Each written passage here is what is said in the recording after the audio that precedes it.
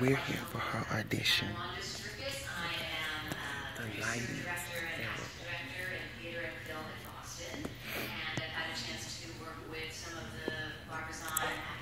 Pretty packed in here. So we're just gonna go through the motions. See what happens. So needless to say, I'm always excited to come to a new location. This happens to be my second time in the city of Houston, so I did hit up a Pappasito's on the way in, I landed, so thank you guys. Uh, but, uh, I want to go ahead and start by having all of my competitors stand up for me. If you're auditioning with a sticker on you today, then stand up. This is a pretty good looking room, I have to say so myself. So, by you being here today, I know that you're uh, ready and wanting to put your training to work.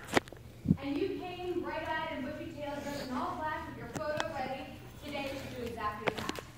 So for your Say it, I gotta get it on camera. Thank you, mommy. You ruffle stinker butt. That was the time when they had to show their support system love. We know that, thank you. Be back. And today, what we do is utilize this as an experiment because how can we expect you to perform in front of 50 industry professionals, agents, managers, casting directors, producers, even clientele are jobs from this event? How can we expect you to perform in front of that number if you simply can't perform in front of two who are here today? Right? And that's what we use this audition for, is to see if you're ready for this event, ready to take this next step in your career. Now, from today's audition, just like any test, really, you're going to walk away being either qualified or not qualified. Now, with those two outcomes, you're not one of the select competitors, because we're actually slated to see 250 contestants between all three auditions we have here in Houston today. So you guys might stop at like one o'clock, but I can keep going.